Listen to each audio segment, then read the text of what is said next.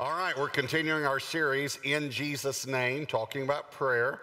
I want you to turn to two passages of Scripture Ephesians chapter 3 and Revelation chapter 5. All right? Ephesians chapter 3. Now, here's how you remember where Ephesians is Galatians, Ephesians, Philippians, Colossians, General Electric Power Company. Delete. Never mind. All right. Open to Ephesians 3, put a marker at Revelation 5.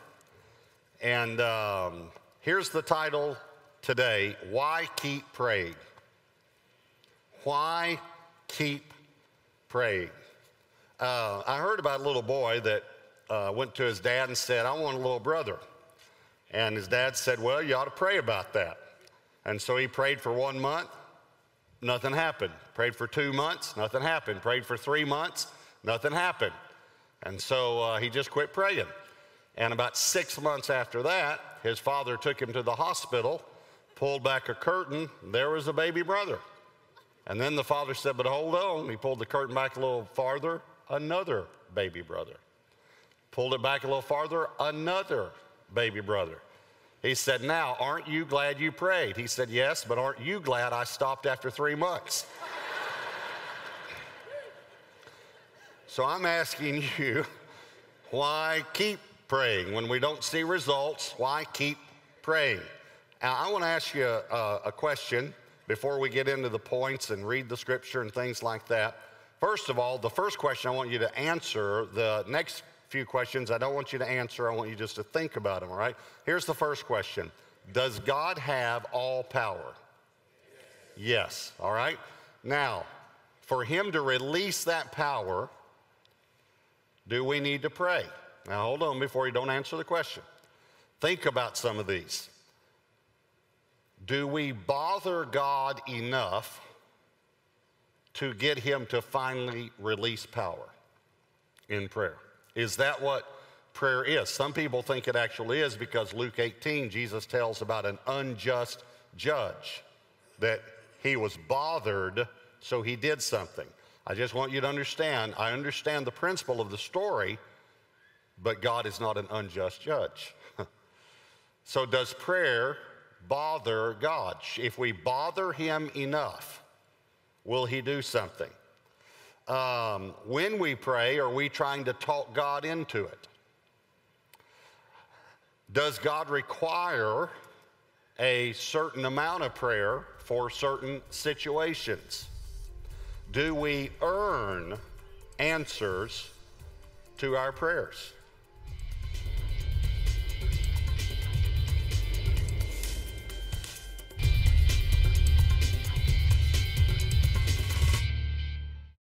Experience Gateway Church live from anywhere you are at gatewaypeople.tv. If you have internet access on your computer or mobile device, you are only a click away from experiencing great worship and teaching.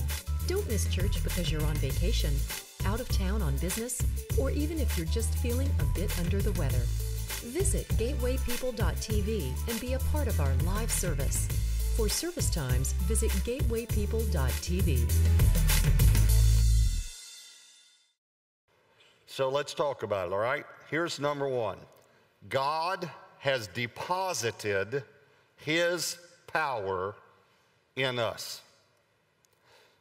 This is extremely important to understand. God has deposited His power in us. When you understand this about prayer, you will become a person of prayer, and it will help you to understand how and why we pray and why we keep praying. Now, before we read Ephesians 3, let me tell you two other verses. Luke 24, verse 49. Behold, I send the promise of my Father upon you, but tarry in the city of Jerusalem until you are endued with power from on high. Until you receive power. You receive power from on high. Acts 1 8, but you shall receive power. You shall receive power when the Holy Spirit comes upon you. You are going to have power deposited in you. Now, we're going to read a verse in Ephesians 3 in just a moment. Let me quote part of it and see if you've ever heard this. God is able to do exceedingly abundantly above all that we could ask or think. How many of you have heard that verse before? Can I see your hands? Okay. Now, I asked three pastors on our staff to tell me what the rest of the verse says. None of them could. They are on administrative leave.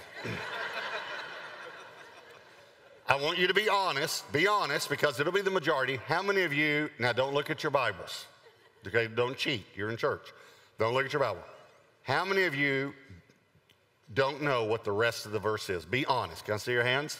Most of you. All right. How many of you know what the rest of the verse is? Can I say, okay, you might want to apply. We have some openings here uh, to church. All right. Here it is, Ephesians 3:20. Now to him who is able to do exceedingly abundantly above all that we ask or think, according to the power that works in us or that resides in us. Now, we're going to get to that last phrase in a moment. I just want you to know, though, that uh, this is a verse that is amazing grammatically. It is amazing how the Holy Spirit structured this verse. I want you to think about this. It says, To him who is able to do exceedingly abundantly above all that we could ask or think. You have to understand that he could have left out the three adverbs, exceedingly abundantly above. He could have left those three out, and the verse meant the same. Now, to him who is able to do all that we ask or think. That what is all? All is all. Now, to him who is able to do all but apparently, the Holy Spirit didn't think that that described the Godhead adequately, so he puts the word above in front of the word all. Now, to him who is able to do above all, how do you even, how do, you even do that?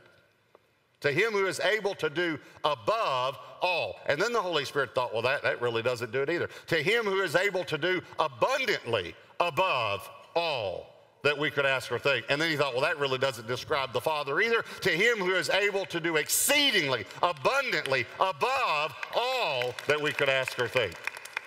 It's a pretty amazing verse when you think about it, isn't it? Okay, but uh, let me say it this way Is God able to do exceedingly abundantly above all that we ask or think? Is he? Okay, here's my next question then. Then why doesn't he? I mean, in my life, in this situation I'm going through, in my marriage, in my family. If God is able, He's able, why doesn't He? That last phrase tells us according to the power that works in us. Another way to say that is that resides in us. According to the power that He has deposited in us. This word, according, um, is the Greek word kata. Uh, it actually means, uh, it denotes measurement. It, it, means to measure out, to measure out. Uh, one definition means to it denotes uh, distribution. That's a real, real simple question I want to ask you. How much of God's power are you measuring out to your family? How much of God's power are you distributing to the situation that you need God to work in right now? Is it possible that God's already done his part and deposited his power in us, and now we measure it out or distribute it? Have you ever thought about that? Let me say it another way, and this, this is going to shock you what I'm about to say. God's unlimited power is limited to our prayers. God has all power, but His unlimited power is limited in my life by my prayer. It depends am I going to distribute it? Am I going to measure it out to my family, to my situation?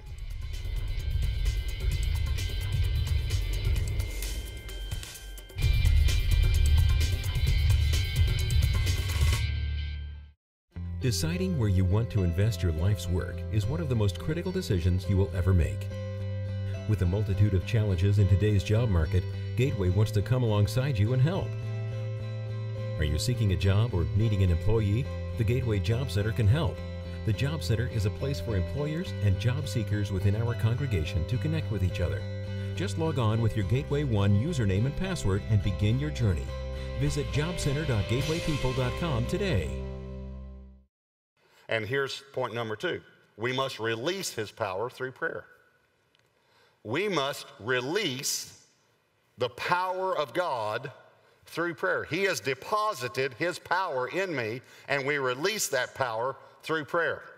Now, I'm going to read you, we'll get to Revelation 5 in a moment, but I want to read you a, a scripture about this power, and I want to use the analogy that Jesus uses. He uses the analogy of the river. And I want you to think about how wide your river is. Is it a gushing river or is it a trickle? Uh, John 7, verses 37 through 39. On the last day, that's the last day of a feast, and I'll tell you about the feast in a moment. On the last day, that great day of the feast, Jesus stood and cried out, saying, If anyone thirsts, let him come to me and drink. He who believes in me, as the scripture has said, out of his heart will flow rivers of living water. Rivers. But this he spoke concerning the Spirit. Remember, we talked a moment ago, the Holy Spirit comes on you, you're going to receive power. This he spoke concerning the Spirit, whom those believing in him would receive, for the Holy Spirit was not yet given because Jesus was not yet glorified. Okay, here, here's what happens this is an eight day feast in Jerusalem.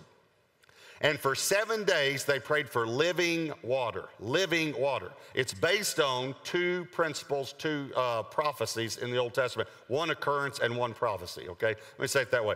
Uh, if you remember when the children of Israel were going through the wilderness, Moses spoke to the rock one time, he struck the rock one time. Actually, God told him to speak and he struck it. So, but the point is, water came out of the rock, and they always referred to that as living water. Zechariah 14 8 prophesies that God's going to flow living water out of Jerusalem again. So they gathered in Jerusalem for an eight day feast. For seven days, they prayed for living water from heaven. Living water. On the eighth day, they prayed for rain. Now, it's not wrong to pray for rain. As a matter of fact, we need to keep praying for rain in Texas and in the South right now. We need to keep praying for rain. But it was wrong the way they did it. Because what they did, in essence, was we're going to pray for living water, but if we can't get living water, we'll just take natural water. And it was such a religious uh, show that they went through. Even at this feast, many, feast, many of them um, got drunk, and many of them um, uh, committed immoral acts at this feast. And they're praying for living water for seven days. On the eighth day, they're going to pray for rain and here's what happens on the eighth day, before they pray for rain, after praying for seven days for living water, Jesus stands up and says, I'm the living water. I'm the answer to your prayers. You've been praying every year, you gather at this time, and you pray for living water. He who believes in me, if you're thirsty, come to me and drink. He says, I'm the water. Okay? And then he makes this statement the one who believes in me, out of his heart will flow rivers of living water. And it says, This he spoke of the Spirit. Now remember, you shall receive power when the Spirit comes on you. And what is the Holy Spirit going to do? Flow out of your heart. Flow out. So I have a just very, very simple question for you. How much power, Holy Spirit is power, how much power is flowing out of you? Uh, if you believed, God has deposited the Holy Spirit in you. And we know that we just read, you shall receive power when the Holy Spirit comes upon you. How much of God's power is flowing out of you? Is it possible that you have your hand on the faucet of God's power in your life?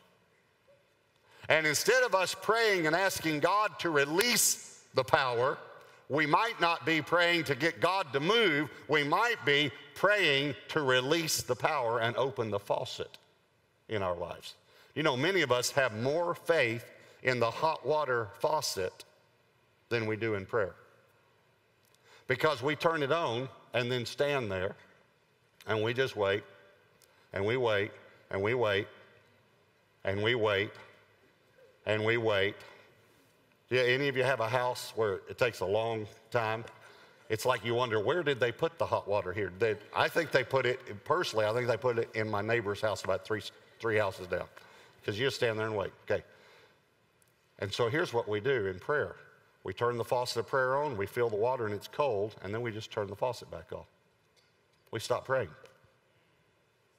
Instead of knowing if I leave this faucet on, it may feel cold, but it's going to get hot. It's going to get hot if I leave this faucet on. Why did Elijah pray seven times? Never thought about that? For something God said he was going to do. God already said he was going to, it was going to rain, but he prayed seven times. Was he releasing power to fulfill the word of God in his own life? Why did Daniel pray 21 days? Uh, I, we'll get to Revelation 5 in a moment, but let me read that to you. Daniel 10, verses 2 and 3. It says, In those days, I, Daniel, was mourning three full weeks. Now, by the way, do you know why he was mourning? Because he was trying to eat right and exercise.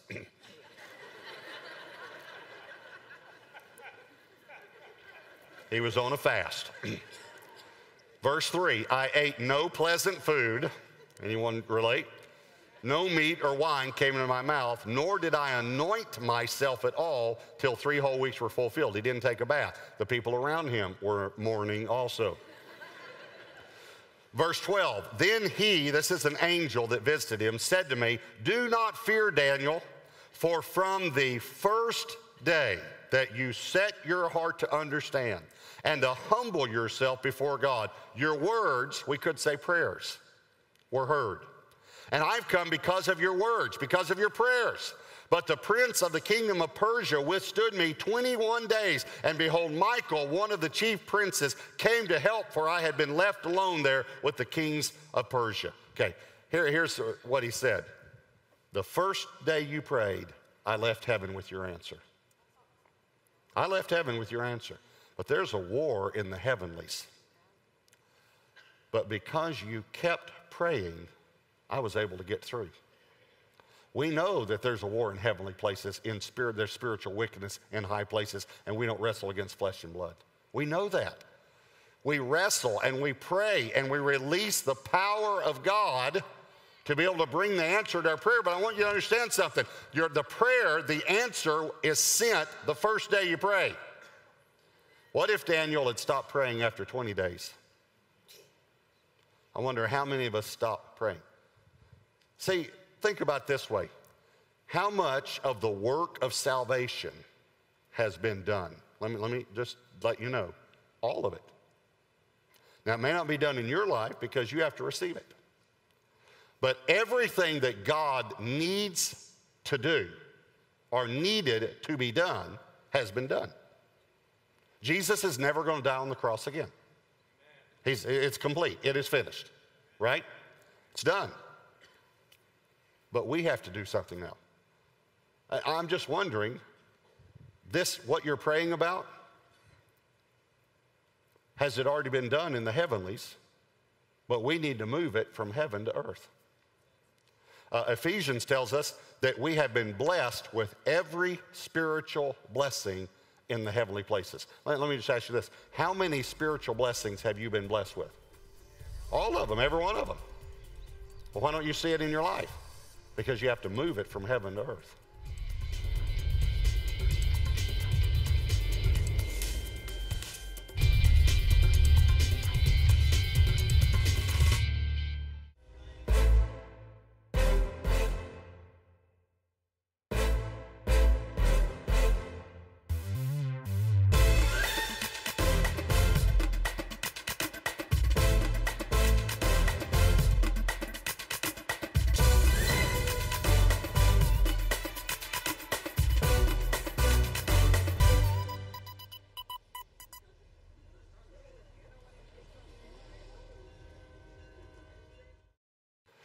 Work has been done, but it depends on what we're going to do now, we're, how we're going to respond to it. So we, he, we must release his power through our prayers. And here's number three God adds his fire, I put in parentheses, power, to our prayers. Now, this is an amazing truth in the Bible. I want you to look at Revelation 5 because you're going you're going to love to see this in your Bible. God adds his fire to our prayers. Revelation 5, look at verse 8. Now, when he, that's Jesus, had taken the scroll, the four living creatures and the 24 elders fell down before the Lamb, each having a harp and golden bowls full of incense, which are the prayers of the saints. Okay, now, according to this verse, uh, what containers store your prayers? Bowls, right? Bowls full of incense, which are the prayers of the saints. Now, flip over maybe one page, Revelation chapter 8. Maybe two in your Bible. Revelation 8, verse 1. When he opened the seventh seal, there was silence in heaven for about half an hour. This is the verse why many theologians believe there will be no women in heaven. I'm sorry. I'm sorry. I'm sorry. I'm sorry. I'm sorry. I'm sorry. Okay. okay.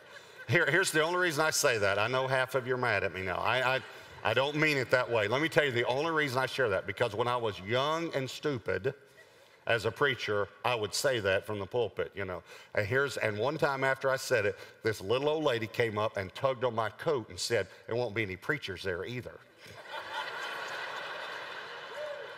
I, I, I actually think that's better. All right, all right.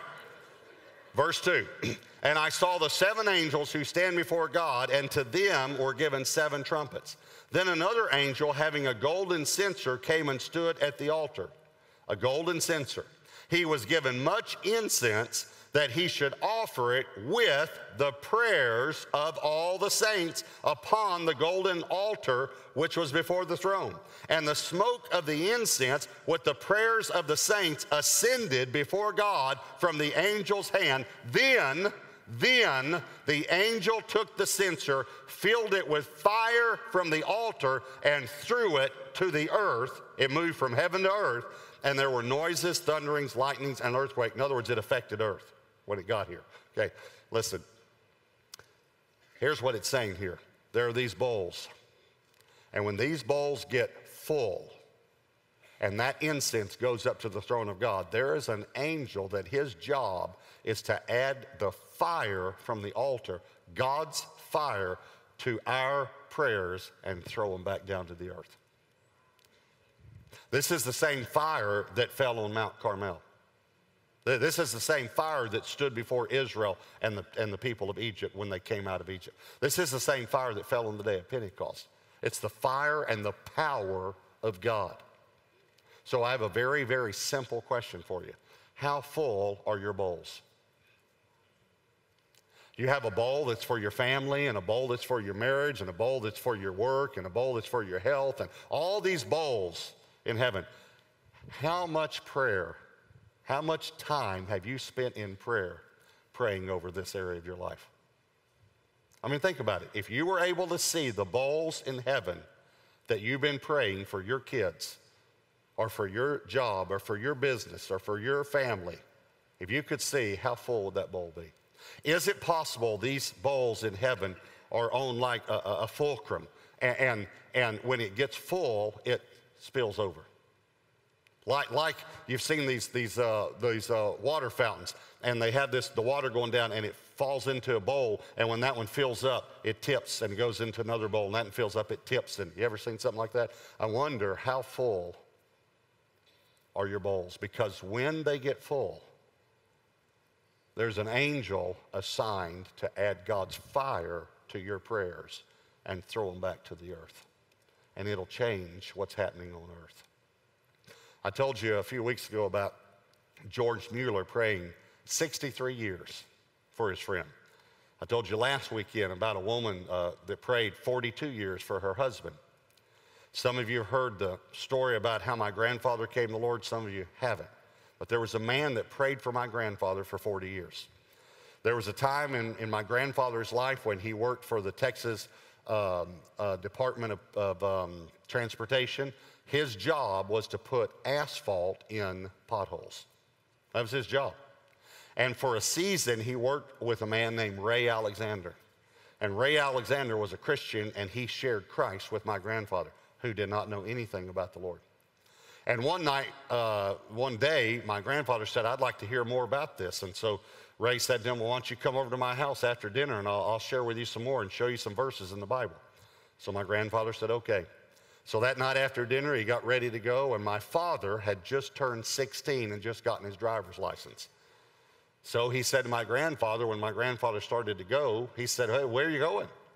He said, I'm going to talk to a man at work about some things. And my father said, Can I drive you? He just wanted to drive. So my grandfather said, Yes, but you have to stay outside while we talk. So he drove him over there, and my grandfather went in, and my father went and sat on the steps of the front porch.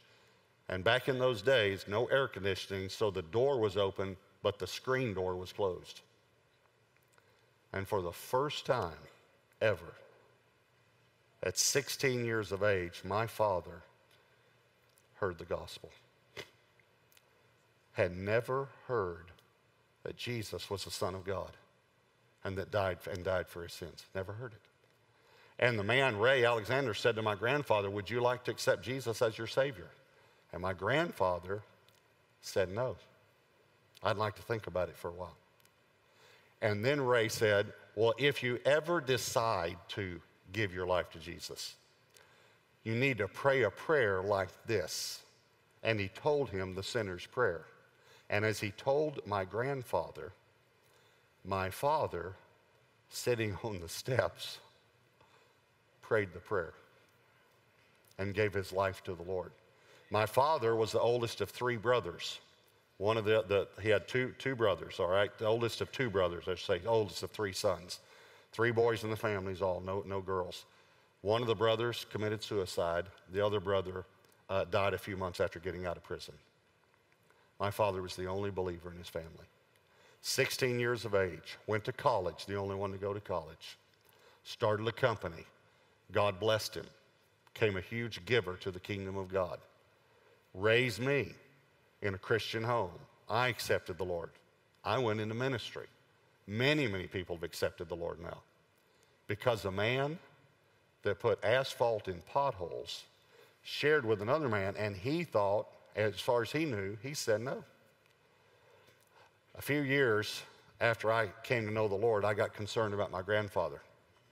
So I started praying. We had a family reunion coming up, and I started praying I'd get to talk to him about the Lord. And so at that family reunion, God orchestrated a time for us to be alone in a room, and I started sharing the Lord with my grandfather. And my grandfather told me, he said, A man told me this 40 years ago.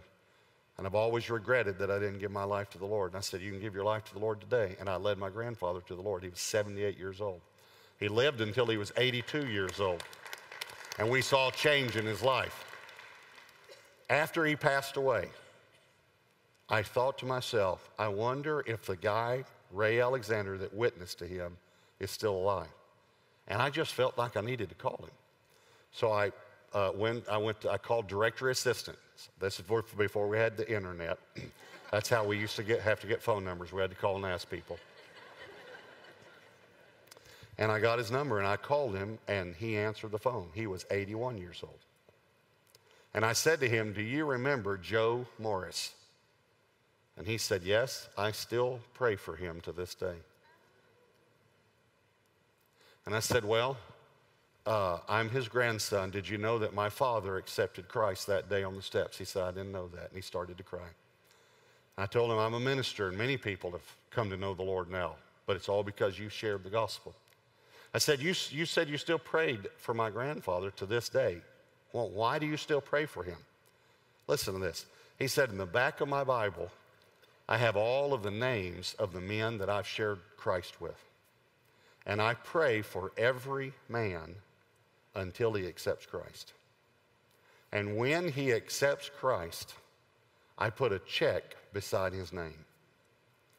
And your grandfather was the only name in the back of my Bible that didn't have a check beside it. And when I get off the phone, I'm going to put a check beside your grandfather's name. Prayer works. I want you to bow your heads and close your eyes. What's the Holy Spirit saying to you? What do you need to pray about right now? What are you going through right now? What maybe is in your life that you feel like nothing's going to change?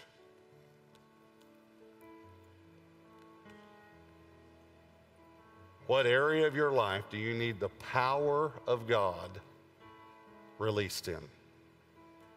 The God who is able to do exceedingly abundantly above all that we could ask or think. We want to pray for you. No matter which campus you're attending, in just a moment, this is what we're going to do. We're going to have leaders at the front. We'll have leaders at the front of every campus. We'll have leaders on the second level at the Southlake campus by all the exits. We'll have leaders in the overflow rooms. If you need prayer for any area of your life, I want to ask you in just a moment just to come to the front of whichever uh, campus or venue you're in. Just come to the front, one of the leaders, and let us pray for you. You don't have to be a member of Gateway Church to come for prayer. And we're not asking you to join this church. Just simply by you coming for prayer doesn't mean you're saying you're going to join this church. But we want to pray for you. So if you're going through a difficulty in any area of your life, no matter which campus you're attending, if you need prayer in just a moment, when we stand up, as soon as we stand up, just step out and come. Come to the front. Come to one of the leaders. Let us pray for you. Holy Spirit, I pray you'll draw every person that has any prayer need at every campus in Jesus' name. Amen.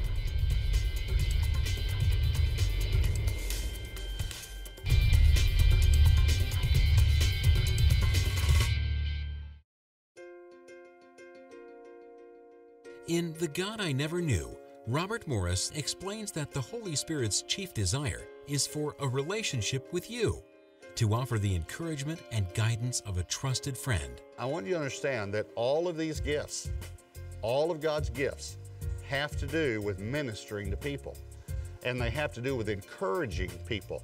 It's time to experience the Holy Spirit in a fresh, new way, to meet the God you may have never known. You have someone living inside of you who knows everything about everything. And he has committed himself to be your teacher and to lead you into all truth.